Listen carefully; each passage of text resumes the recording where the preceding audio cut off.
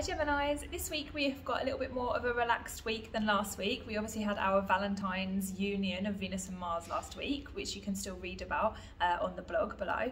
So if you have uh, a relationship this week, this is a time of forgiveness because we've just moved into Pisces season. Um, and even if you're single as well, this is also a time of forgiveness, but it might be a time for forgiving yourself for something, having compassion for yourself and allowing yourself to be who you want to be, to be who you really are without so much judgment and so many shoulds, right?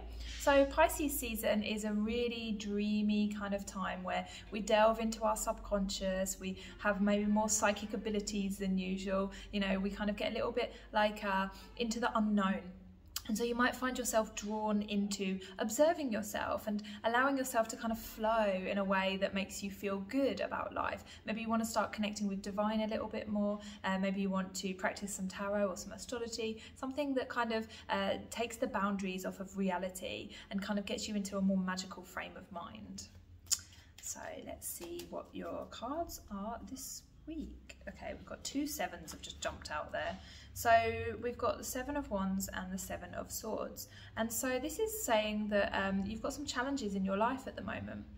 This might be challenges with other people. You're not trusting uh, other people. You're not trusting someone, or you're not trusting life to give you the opportunity to trust people. Actually, um, and it seems like you know at every turn there's something that mm, you know is a, a challenge in your relating skills and a challenge in your life. And so this is saying actually Pisces season is that time to find faith because Pisces is all about faith. Um, and, you know, that can be very hard. It's not like an overnight decision where you just go, okay, now have faith. Um, but actually, this is a time to kind of explore, you know, the meaning behind these experiences. What are the lessons behind these experiences? You know, there might have been challenges that kind of took you away from something that wasn't meant for you. And so, therefore, that was in your highest interest. Um, and so, this is a really positive time for you to kind of look into that and heal some of this.